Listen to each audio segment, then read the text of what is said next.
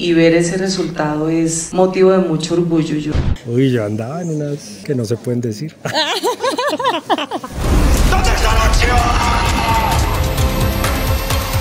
Hola, hoy me encuentro desde la Cinemateca de Bogotá en la premier de Los Iniciados, esta segunda parte de la película inspirada en el universo de Mario Mendoza con AG Studios y Prime Video. Crímenes, investigación, lucha de poder, un homenaje a aquellos periodistas que dan su vida por la verdad, por la justicia, por revelar una realidad. Yo estoy llevando la investigación del caso por mi cuenta y todas las respuestas están en ese psiquiátrico.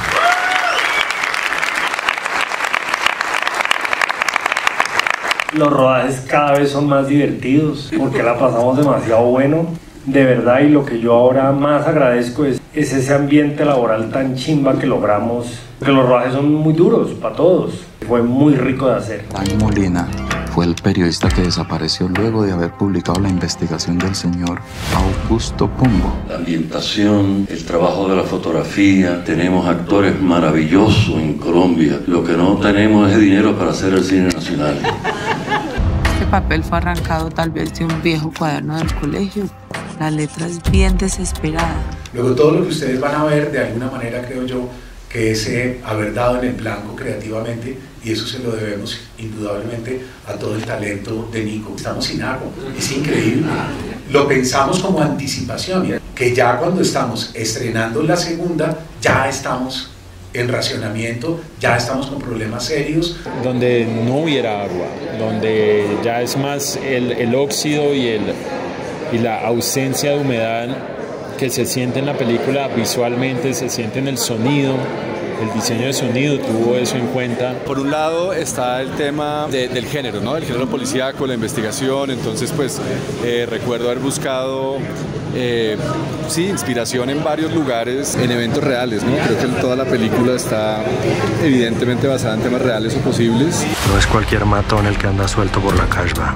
Es muy especial para mí como actriz contar esta historia y me siento tremendamente orgullosa de ver esta película tan potente.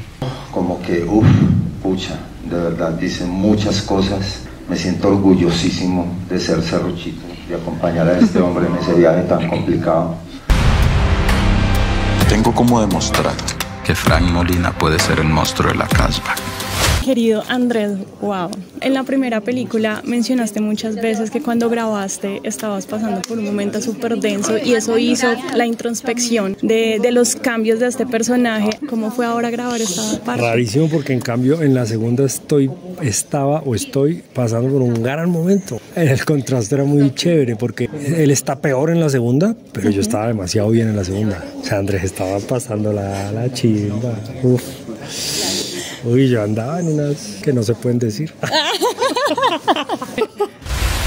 No tengo, no tengo cómo defenderme, no sé qué hacer. Yo estoy desesperado ya.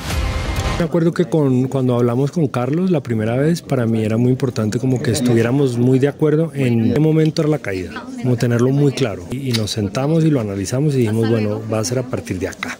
Tener muy claro eso, cuando este man se, se, se les suelta el, el, cable. Yo aprendí a hacer caso, entonces para mí es muy fácil acoplarme. Confío mucho en los directores, propongo cosas y tal, pero, pero, pero sí, yo, yo siento que yo, yo soy muy fácil de dirigir. Yo no soy capaz de ir a hospital, no puedo. Usted sabe que no puedo. Aquí vemos también como lo que se percibe o lo que está viviendo el personaje por medio de imágenes, colores, movimientos. ¿Cuál fue la exigencia de esta en producción? Esa, esa es una pregunta importante porque era en qué momento Frank o cómo Frank va a resolver, porque el caso está por dentro, no está por fuera. ¿Cómo resolvemos esa pregunta desde guion, desde puesta en escena, luego en edición? Es una pregunta que nos ocupó muchas, mucho tiempo. ¿Quién encontró la cabeza? Una paciente en el cambio de turno. No sé, alguien dejó eso amarrado en la puerta de mi casa, no sé. ¿Están amenazando, Frank? En esta, porque el cambio de dirección? Ah, por el, porque siempre fue el plan. Okay. El plan siempre era que cada película tuviera un director diferente, un equipo diferente y se complementan muy bien las dos películas. Sí. O sea, ver la primera y ver la segunda es una gran experiencia. Se, se, complementan muy bien desde lugares distintos. Dijiste que varias películas cada uno. ¿Cuántas están proyectadas? Pues esperemos que más y que los iniciados continúen. Ya veremos, el tiempo, Eh. el tiempo lo dirá. Por favor, apoyarla. Yo pensé que yo podía confiar en usted. Yo sé, yo sé que la respuesta está aquí, yo sé que yo lo tengo que encontrar, yo sé que está aquí. Yo sé que todo está aquí.